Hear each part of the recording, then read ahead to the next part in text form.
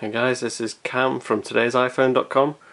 Just going to do a quick death grip test on the new iPhone 4S because they've got this new antenna design that's similar to the Verizon iPhone, the CDMA version, with a break on both the bottom and the top of both sides. And they say also that this new system has got like a new dual antenna type system. Um, so we're going to see if that's actually changed, if, it, if in fact we'll still lose signal if I give it the death grip with my left hand. So I'm just going to do that now and we'll watch and see if the signal's going to drop. Now I do, every now and then I, I do kind of go between 3 and 4 bars generally where I am so I wouldn't be too concerned about that first one dropping. I'm just going to watch and see for a few minutes, well maybe not a few minutes but just for a little while to see if I'm going to lose any more.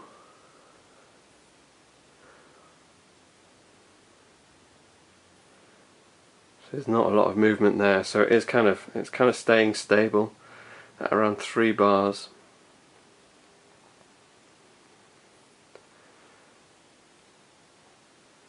It's even just increased back to four again, so not worried at all about that antenna. It looks like that problem's been fixed.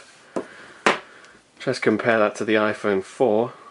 You can see it's, it is the iPhone 4. It hasn't got the break at the top. It's got it on that side near the headset jack. And if I give that the same treatment, we should see that it drops. Sometimes takes a little while to get going, but it does eventually drop. I have done this test previously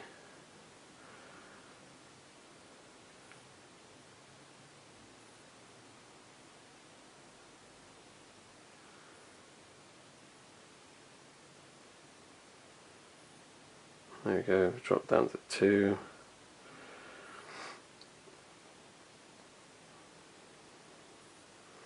When I was testing this just now I lost 3G entirely. That 3G logo didn't even show up so it's definitely affecting this phone. So I let go, I'll notice that the bars go back up again, or we should do. You know what it's like when you're doing things on video, it never goes the way you want it to. So 3. 4 so it has increased again